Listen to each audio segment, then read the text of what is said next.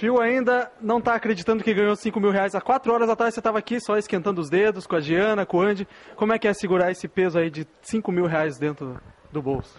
Eu acho que a grana, eh, eu não, assim, ganhei dinheiro tudo, mas não é o, o fator principal para eu estar aqui.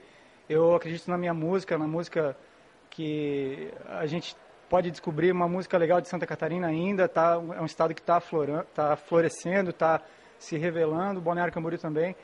Eu ainda não estou acreditando no que está acontecendo, mas é, agora com o pé no chão, legal. Eu acho que é tudo fruto de um trabalho que a gente vem realizando há um bom tempo, assim, estudando bastante e, e lapidando o som. E, e, e eu acho que a gente tem que zelar pela uma originalidade aqui de Santa Catarina.